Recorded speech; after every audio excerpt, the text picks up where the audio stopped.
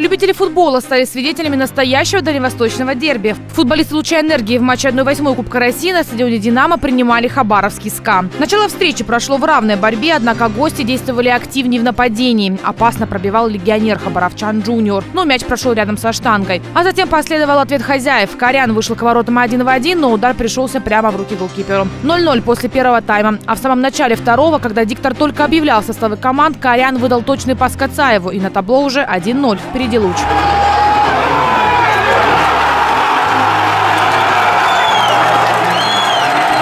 После забитого мяча желто-синие и не думали сдавать обороты, а гости бросились отыгрываться. И это удалось уже в добавленное арбитром время. Хабаровск пошел в банк они заменили защитника, выпустили еще игрока группы атаки с целью как бы давления. Вот. И поэтому получилось, что они навязывали, навязывали именно атакующую игру.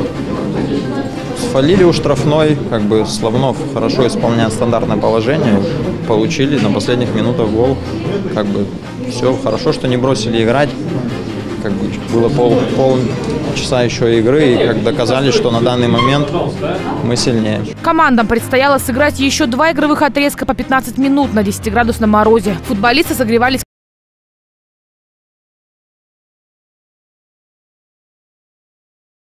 мощно пробил из-за пределов штрафной. Мяч рикошетом от головы защитника попал в перекладину, а на добивание подоспел Владимир Романенко. 2-1. А еще через несколько минут гости нарушили правила в своей штрафной площади, и Корян реализовал пенальти. Армейцы не сдавались до последнего, успев к перерыву сократить отставание до минимума. Но в оставшееся время желто-синие выстояли. 3-2. Победа Луча энергии. Очень приятно, конечно, забивать. Я и там в Омске был, в добавочное время забил. сейчас Виталий Шупускал сказал, ты должен изменить ход встречи. Так и получилось.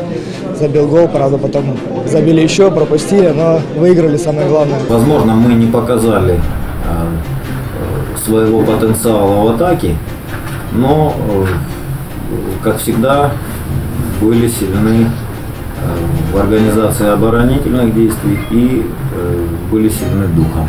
Это самое главное. Обыграв хабаровских армейцев, футболисты «Луча энергии» вышли в одну четвертую финала Кубка России. Соперник «Желто-синих» определится в Томске в матче местной Томи и Тюмени в марте.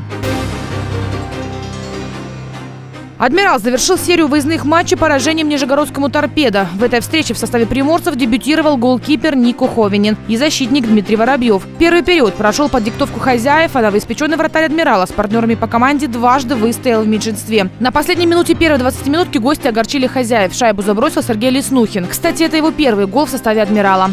В 14 матче первый гол Сергея Леснухина. Очень важная шайба под занавес первого периода. Во втором периоде хозяева быстро отыгрались после удаления Другова, а через две минуты торпеда и вовсе вышла вперед усилиями Ходжимана и Вольски. В третьем периоде счет не изменился. 2-1 победа нижегородцев. Уже в понедельник, 2 декабря, «Адмирал» начинает очередную серию домашних матчей. Первый соперник – московский «Спартак».